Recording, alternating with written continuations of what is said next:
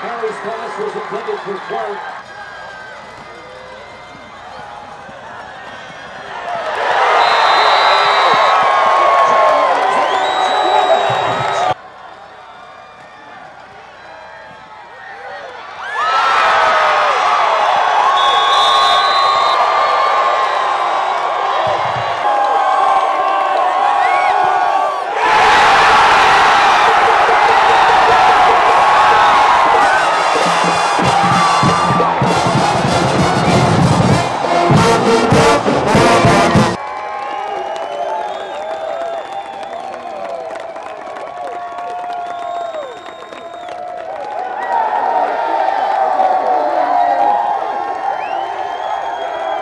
Fans, you are reminded to attend